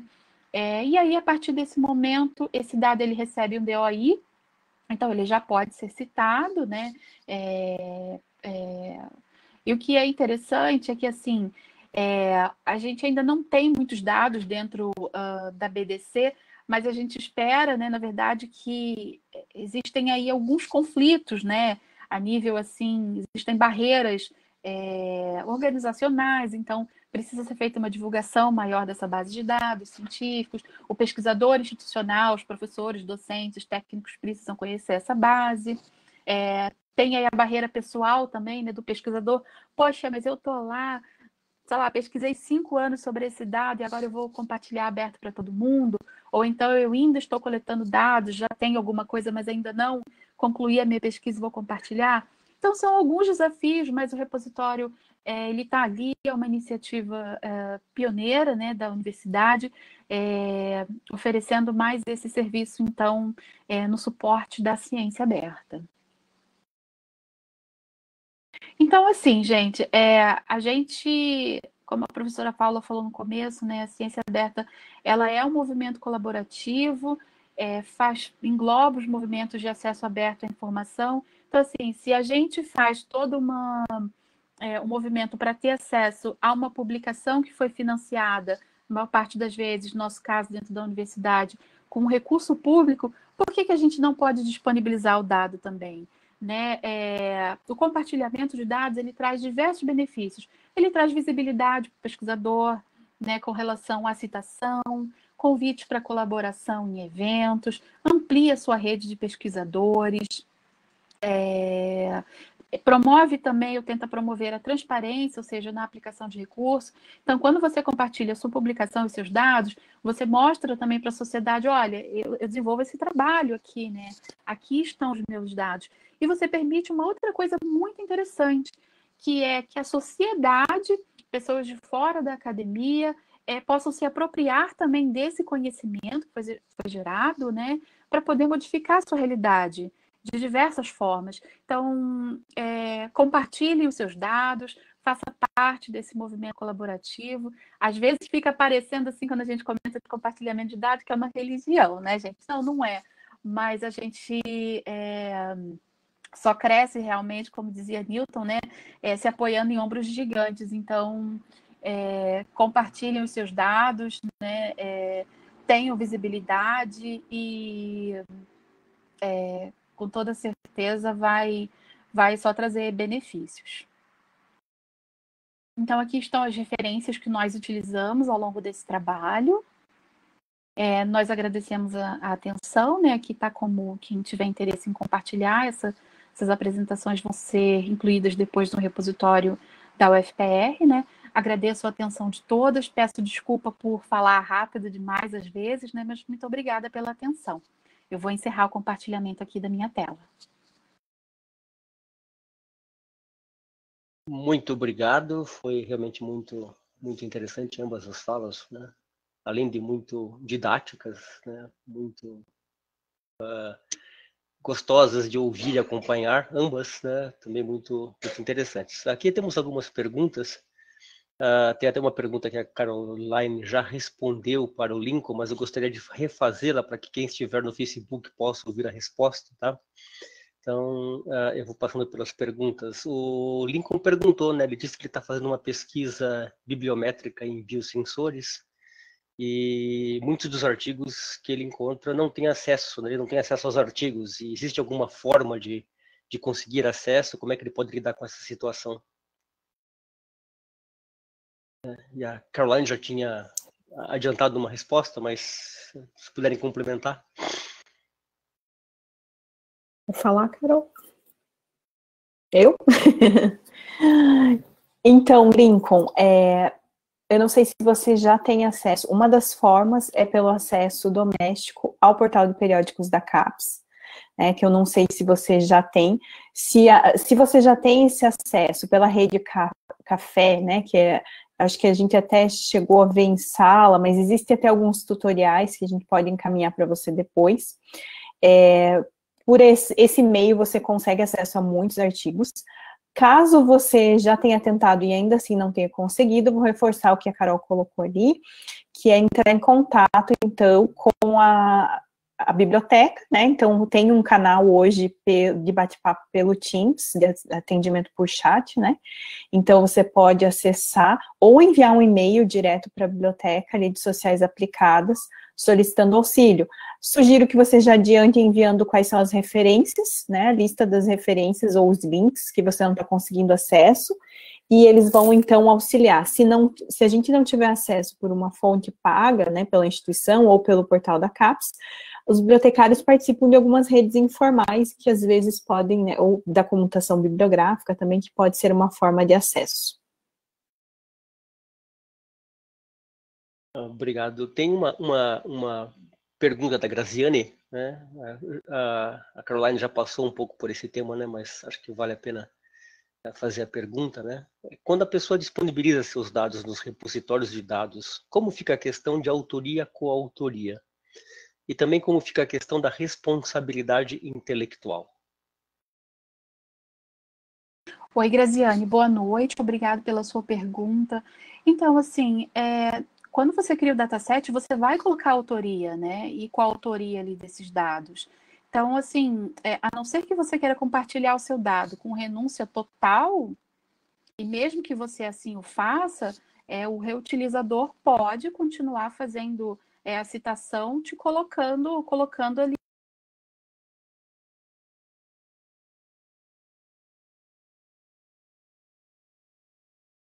Alô? Acho que parou a câmera. Acho que a Carol acho que parou momentaneamente. ver se ela consegue é. voltar. Só um minutinho, gente, por favor.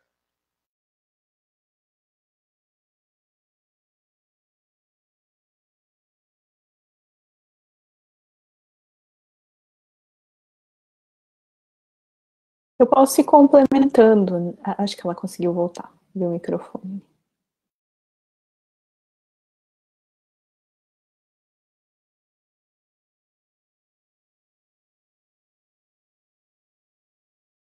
Oi, gente, perdão, bem na hora da resposta caiu a internet, né, gente? É, deixa eu ver aqui.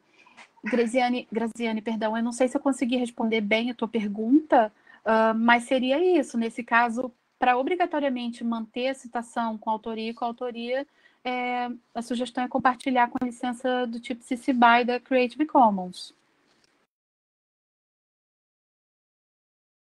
Tem uma outra pergunta também da Graziane, aliás tem mais duas, né?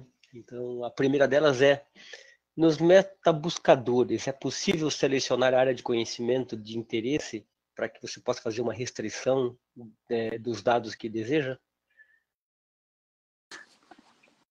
Com certeza. Uhum. Ali no metabuscador da FAPESP, por exemplo, ele já tem um menu lateral para você selecionar a área do conhecimento.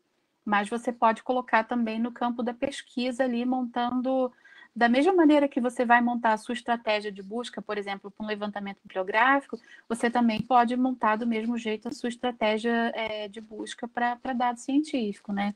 Mas, assim, é, essa configuração vai depender de como... É, essa, essa, esse resultado vai depender de como está configurado também cada metabuscador.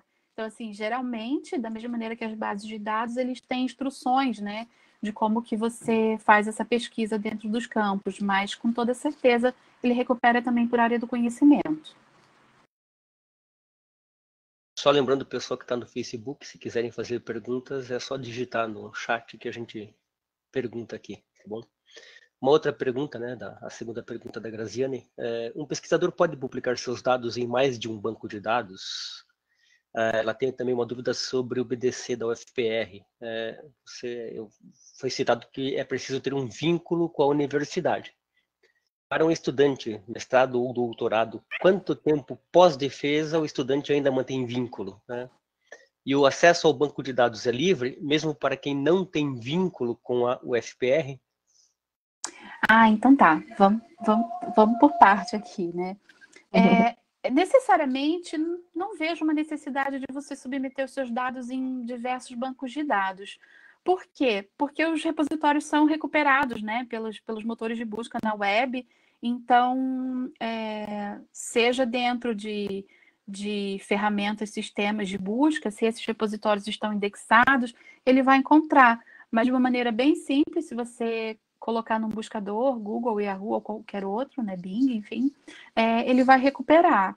Vai da tua conveniência, mas se você postar o teu dado né, em diversos repositórios, você vai estar tá fazendo uma duplicação de trabalho que talvez não seja muito interessante na contabilização de citações.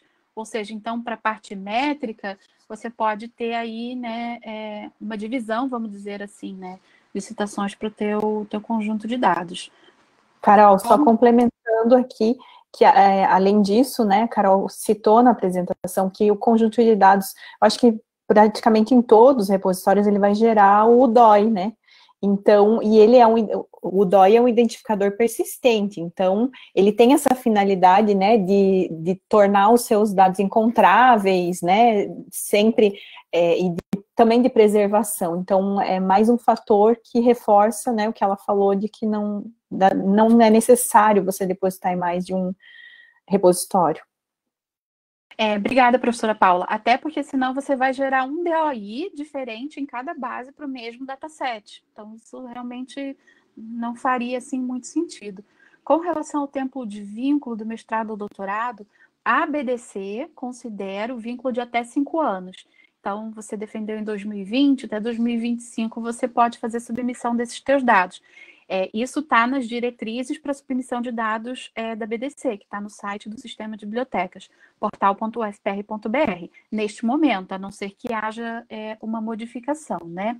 O acesso ele é realmente livre, ele é realmente aberto, não precisa estar tá dentro, esse acesso ser feito dentro de uma VNP, né? É, qualquer pessoa pode consultar, né? Uh, do computador, da internet, ele está livre para baixar, para acesso, né? Mesmo quem não tem vínculo com a, com a universidade. a professora Maria do Carmo esclarece que o mesmo vale, né, o mesmo período de cinco anos vale para a CAPES, né, são cinco anos de vínculo. Uh, eu queria fazer uma pergunta sobre, a, a Caroline falou sobre os, os, os, desafios, né, existem desafios institucionais, pessoais, de diversas ordens, né, e acho que são realmente importantes que sejam discutidos e essa discussão aqui é muito relevante. Eu queria colocar um outro ponto, até fazendo um link com a apresentação que teve no começo desse CIDIP, que foi a do professor Simão sobre LGPD, que determina algumas regras para que você possa manter os dados, as responsabilidades de dados. Né? Entre elas tem a questão, por exemplo, para nós que, que, que, eventualmente estejamos fazendo pesquisas que envolvam pessoas, coletemos dados que podem ser sensíveis, nós temos que fazer um, um termo de consentimento que define que aquela permissão é dada para uma específica pesquisa. No entanto, ao colocarmos isso num repositório aberto, nós abrimos para pesquisas que estão além do consentimento que nos foi dado. Né? É, é, imagino, eu estou falando de, de, de, de hipótese. É, é, e, então, a questão é como é que fica a, a, essa questão de acesso aberto versus as definições dos comitês de ética e das, das leis tipo LGPD, e se eu consigo rastrear quem teve acesso aos meus dados, caso uma pessoa que eu, por algum motivo, uh, entrevistei e tal, que coloquei lá o dado, queria saber se eu posso saber como é que esse dado foi rastreado, foi usado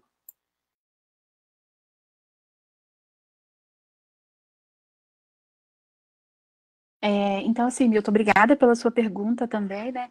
A gente tem uh, entrada em vigor da LGPD alterando bastante, né, a disponibilização desses dados, mas, na verdade, assim, o que a gente sempre tem que tomar cuidado é, dependendo do tipo de pesquisa, e, e aí eu, eu, digo, né, principalmente com relação aos dados que são sensíveis, você, para poder disponibilizar, você vai ter que ter, primeiro, consentimento dos participantes dessa pesquisa, é, você vai ter que, depender, a depender do consentimento, você vai ter que anonimizar né, esses respondentes, então você não pode deixar nenhum traço uh, que faça de uma maneira direta ou de uma maneira cruzada a identificação dos participantes dessa pesquisa, né?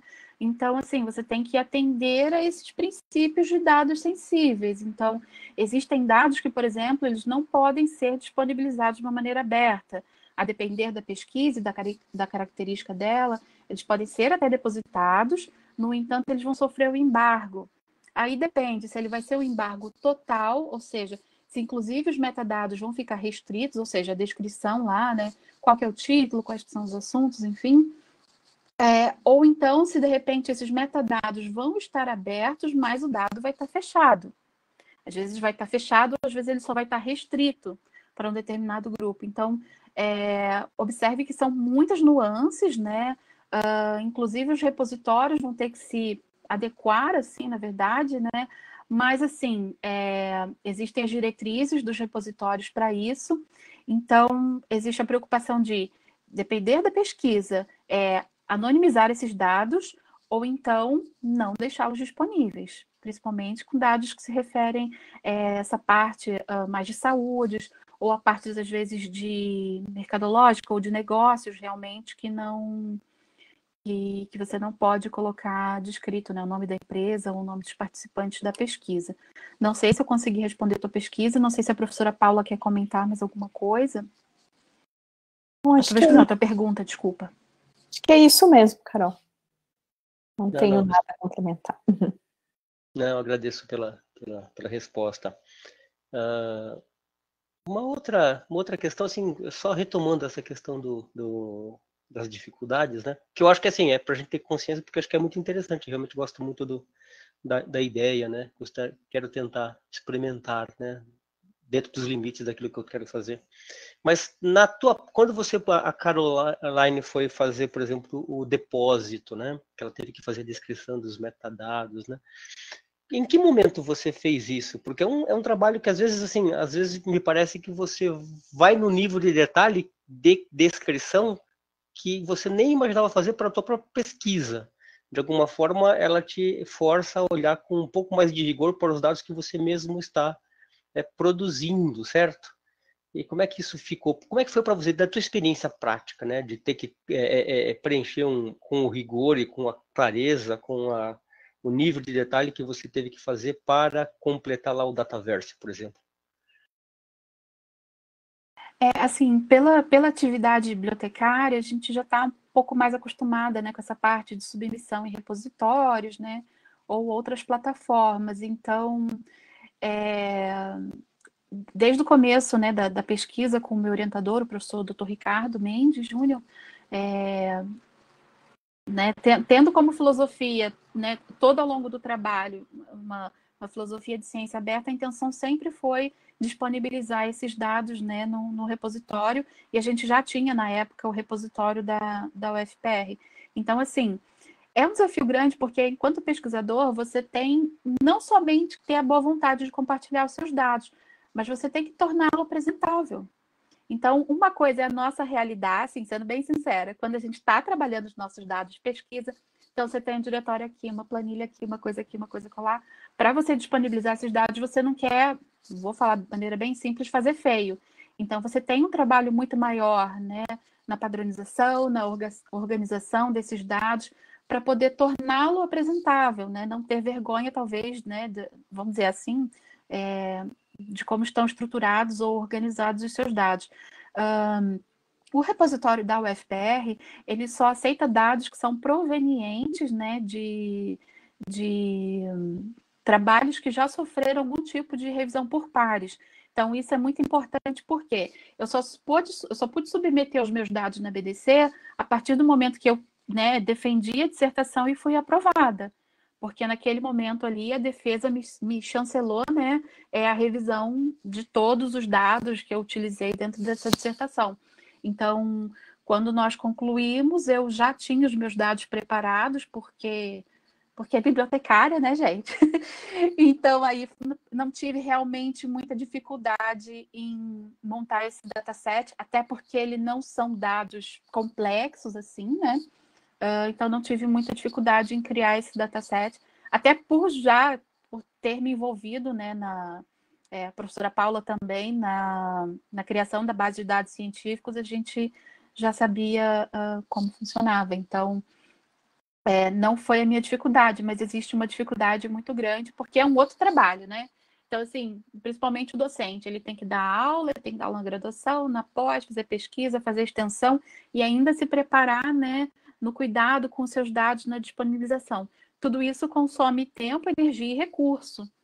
Então, são desafios, sim, né, a, a serem superados, né, através da sensibilização da comunidade e também através de estímulo, seja ele uh, estrutural, né, promovendo uh, ambiente, equipamentos, sistemas, né, para trabalhar esses dados e para torná-los disponíveis, né, a gente tem ainda um caminho para enfrentar, mas é, eu só realmente depositei depois que, que defendi e, e fui aprovada. Eu queria só fazer uma, uma complementação, Carol. É, assim, eu, eu já tenho estudado há algum tempo, né, e, e, a Carol sempre me ajuda muito, né, nesse processo, até quando vou submeter, eu digo, olha, olha, olha bem para ver se está certinho, estou fazendo certo, então, Milton, eu acho que assim a gente precisa olhar para esse novo modelo, né, vamos dizer assim, né, de, de divulgação dessas nossas produções. A gente precisa de uma no... desenvolver uma nova cultura, né? Às vezes a gente fala na cultura organizacional, é uma cultura de pesquisa. Então, é, é primordial que a Carol falou, você é, pensar nos seus dados desde o início da pesquisa. É, isso não significa que se você não pensou, ah, eu estou já, estou escrevendo minha dissertação, ou estou no meio do caminho do doutorado e aí e não tinha pensado nisso, mas gostaria, ainda não coletei meus dados, gostaria, ou comecei a coletar e gostaria de disponibilizar. É possível. Mas se a gente for pensar é, na questão da gestão dos dados né, científicos, o ideal é você começar lá do início, né, pensando, e aí até eu comentei, tem um documento chamado Plano de Gestão de Dados, né, que é onde você vai é, inserir desde o início como você planeja fazer sua coleta, quais vão ser os formatos, e claro que ao longo do processo isso vai modificando, né? Pode ser que você modifique a forma de que você vai apresentar, e isso tudo vai sendo documentado ao longo do tempo, né? Como a Carol mostrou. Então, assim, falando o ideal, pensando no ciclo de vida dos dados, né, é você iniciar com um plano de gestão de dados no início da sua pesquisa. Então, já quando você está fazendo o levantamento bibliográfico para fazer o referencial teórico, você já vai, é uma parte da sua pesquisa. Quando você vai coletar seus dados, seja numa plataforma, seja por meio de entrevistas, questionários, você já precisa planejar tudo isso antes. Né? Então, é olhar para a produção do conhecimento, né, para a pesquisa de uma forma com, diferente, com um outro olhar. E isso modifica também de uma área do conhecimento para outra, né? Então, tanto que assim, a, a, Carol, eu e outras colegas dos sistemas, eh, do tempo né, que eu trabalhei no sistema de bibliotecas, a gente tem um projeto que eu espero que no ano que vem a gente consiga colocar em prática, que é of oferecer um curso de extensão, né, e vinculado ao programa, é, a gente já está trabalhando, pensando nisso, né, nessa, já há bastante tempo, é, como fazer desde o início, né? Então é um pouco do que a gente falou aqui, mas pensando na gestão dos dados para uma pesquisa científica desde o início. Então, como eu faço meu plano de gestão, como eu coleto, e daí mostrando na prática, né? Como eu acesso esses repositórios, é, como eu faço o depósito. E, e, claro que acaba modificando de uma área para outra, porque assim, a gente, se a gente for pensar, né, a Carol citou alguns exemplos ali de, de genoma, né, que são uma infinidade de dados, né, formatos diferentes do que a gente está habituado também. Muito obrigado. Uh, tem uma outra pergunta da Graciane, eu já vou fazer a da Graciane, eu só queria fechar uma última minha, se eu paro de falar também, tá? eu vou perguntando até, até, eu vou me divertindo, eu vou achando muito interessante, eu vou perguntando. A questão é, então, pelo que vocês colocaram, assim, e honrando o princípio dos dados abertos, que eu acho que merece, assim, muita, muita atenção e muito carinho dos pesquisadores, né? Notadamente de quem está em instituições como a nossa, né? Uh, temos pessoas aqui que não são da federal, mas a grande maioria são instituições públicas, né? Sim, mas assim, principalmente aqui, né? Por conta de ser um financiamento público da pesquisa, né?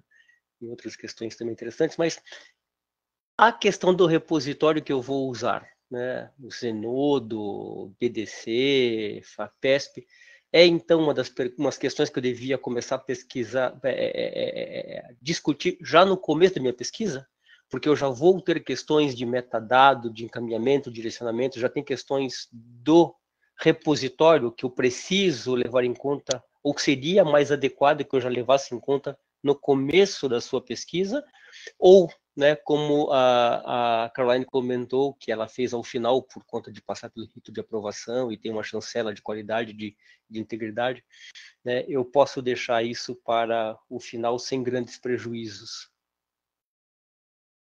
Oi, Milton, não, eu, eu recomendo que você não se preocupe com o repositório agora, por quê? Porque até você terminar, concluir o seu trabalho, vão ter mil repositórios, né?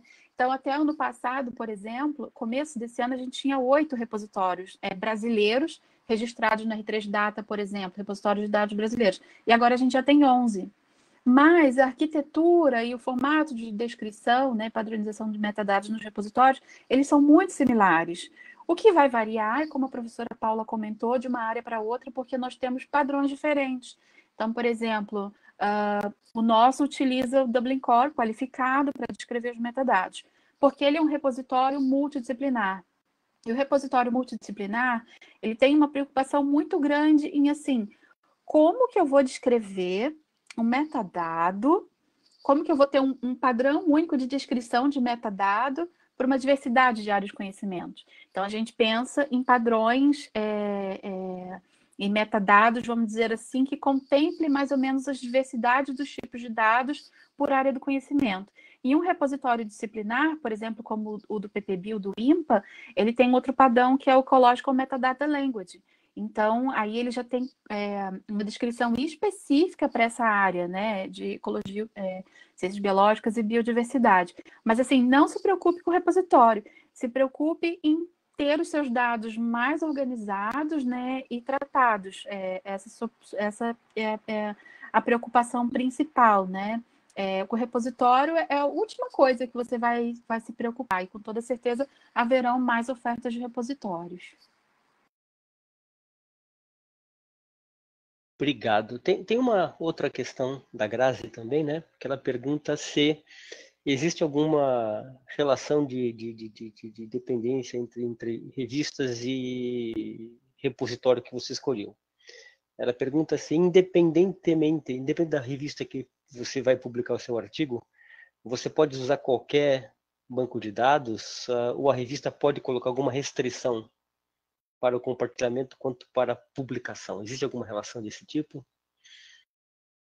Essa eu vou passar para a professora Paula, enquanto editora da revista E2Z.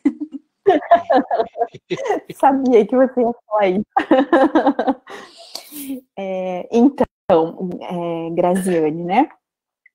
Algumas revistas, hoje muitas revistas já fazem recomendação nas suas políticas editoriais de em quais repositórios você deve depositar. Muitas indicam, indicam não, não somente um, né? Às vezes, por exemplo, a revista é de uma área específica, é, e eu estava desenvolvendo, finalizei uma pesquisa ainda essa semana sobre a temática, né? Que um, uma das análises foi verificar se as revistas indicavam é, um repositório, faziam indicação do compartilhamento de dados, e, por exemplo, da área de biológicas, existem alguns repositórios que são específicos dessa área, então, às vezes, a revista indica esse repositório e aí você precisa seguir. É, na área de sociais aplicadas, eu não sei se você é também da área de sociais aplicadas, hum, muito, poucas revistas indicam, né? E se indicam, elas dizem, olha, a gente recomenda o compartilhamento de dados, mas não tem um, uma indicação de qual repositório você, você deve depositar. Então, a minha sugestão é, assim, é, quando você vai, você está pensando, fazendo a sua pesquisa e pensando em qual revista você, para qual revista você vai submeter, olhar as políticas editoriais antes de fazer a submissão num, repositório de dados, tá?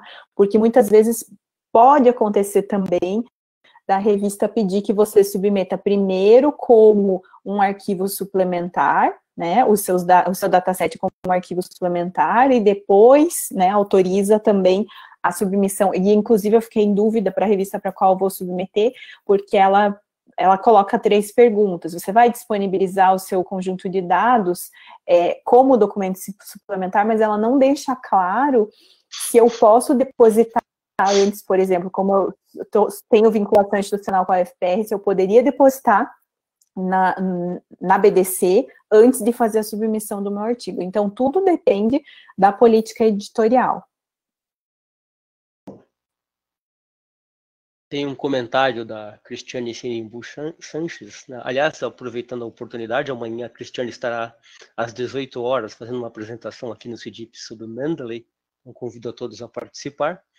A Cristiane nos assiste pelo Facebook e ele só comentou sobre a iniciativa comentada pela professora Paula. Excelente iniciativa de vocês, estarei na torcida para dar certo. Eu acho que todos estamos, todos estaremos, né? Uh, Obrigada. Eu acho que nós não temos mais perguntas, uh, quer dizer, devemos ter várias, mas elas não chegaram ainda, então dá tempo da gente parar, antes que elas cheguem. Tá? Mas se não fica aqui até amanhã, né? Tem muitas questões, é, é um tema muito interessante, muito interessante. O meu, minha última, última pergunta, né? Mesmo assim, só para fechar, é, a iniciativa está associada, como vocês comentaram, a uma proposta de mudança de cultura, né, que eu acho que é realmente fundamental. Como é que, o que, que, mais, o que falta numa comunidade de pesquisa que fala muito de, de conhecimento? Conhecimento ele é em geral ah, você pensa nele como alguma coisa que está na nossa comunidade, que nós produzimos para o bem de todos, etc. e tal. qual é a dificuldade que nós encontramos na cultura para que isso seja de fato verdadeiro, que seja que a gente compartilhe os dados e não apenas o resultado dos dados, das pesquisas, né, os artigos, os, os, os, os produtos, serviços, uh, as teses e dissertações, nós efetivamente compartilhamos isso de maneira mais ampla. Qual que é a, a grande dificuldade e qual que é o plano que vocês têm? Olha, essa é a pergunta de um bilhão, né? É, existem muitos desafios, né? A gente tem os desafios políticos, os legais.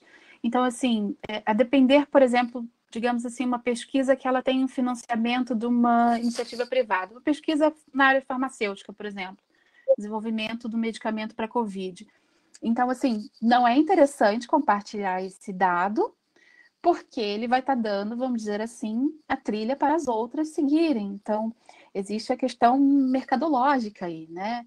É, a parte pessoal uh, e organizacional, eu comentei um pouco a princípio, né? Mas, assim, é, desse exemplo que eu citei há pouco, existe a parte legal, então, às vezes, a entidade que está financiando a minha pesquisa, na totalidade ou parte dela, uh, proíbe né, a submissão dos dados. Às vezes, eu estou produzindo material junto com um grupo de pesquisa mas eu não sou a líder, então eu não tenho autorização para divulgar esse, esses dados. Então, assim, são muitas as questões uh, comportamentais, existem alguns estudos né, é, de, de, pesquisadoras nessa área também, a gente tem é, para identificar quais são esses desafios, quais são essas barreiras, por que, que não é compartilhado. Uh, ao meu ver, é como a professora comentou, mais um fato cultural mas também uh, organizacional, na medida em que eu, enquanto instituição, né, estou é, provendo o suporte, e o suporte ele pode ser através de software para tratar o meu dado, estou oferecendo ambiente para isso, para modificação, para tratamento, estou oferecendo repositórios ou estou indicando repositórios pagos. Então, são muitos desafios. Eu não sei se eu consigo, não, eu não consigo responder nessa tua pesquisa. A gente não tem um plano, né? Um, nível de universidade, existe um trabalho, né, que, que, que começou lá atrás, né, com a, até com a professora, sempre comento isso quando falo de dados, né, com a, com a, professora Marinelli, a professora Maria do Carmo, também do programa, a professora Carminha também estava envolvida, né, quando a UFPR lançou os recursos, o repositório de é, recursos e práticas educacionais abertos. Então, existe um muito, desafio muito grande de por que, que o pesquisador vai pegar aquele material que ele produziu ali e vai compartilhar para os outros. Então, é, é, para mim, na minha visão pessoal, tem o, fator pessoal muito arraigado ainda, né? Mas a UFPR, ela apresentou uma alternativa para isso, ou seja, foi elaborada uma resolução por meio do qual os docentes que depositassem recursos REA ou PEA no repositório da universidade, eles ganhariam um percentual né, em cima da, desse produto na sua progressão. Então, assim, como um estímulo. Então, a gente pensa também que o estímulo organizacional, aí, nas diversas formas, a universidade encontrou esse estímulo né, uh, com relação ao REA e PEA, pode ser um caminho mas ainda há muito, muito a caminhar, né? Então, eu não consigo é, responder toda essa sua, sua pergunta. Ela é bem complexa, né? Mas a gente está tá aí, né? Está estudando, pesquisando para para ver como diminuir essas barreiras ou como tornar esse caminho um pouco mais suave, né, para o compartilhamento dos dados. Muito obrigado pela, pela resposta. Eu acho que ciência é isso, é sempre um caminho, né? Não, não temos soluções definitivas, mas estamos sempre lutando para encontrar alguma coisa que nos ilumine.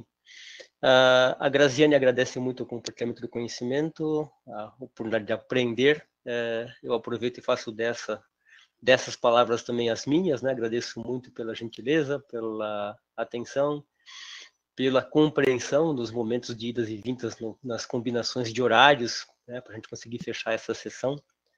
Uh, vocês e, e, os demais participantes foram muito compreensivas, agradeço realmente por isso em público, né? E obrigado, obrigado mesmo a todos, obrigado por quem participou, quem assistiu, quem fez perguntas, quem não fez, uh, foi um prazer estar aqui. Amanhã temos o nosso último, último evento do CDP deste ano, então uh, professora Paula, Caroline, muito obrigado pela sua participação e gentileza. É, colegas, amigos, compatriotas, romanos ou não, muito obrigado por esta noite e a gente se vê amanhã. Obrigado. Muito obrigado. Obrigada, pessoal. Boa noite. Boa noite. Boa noite. Obrigada, as duas. Maravilhoso, tá? Parabéns. Obrigada.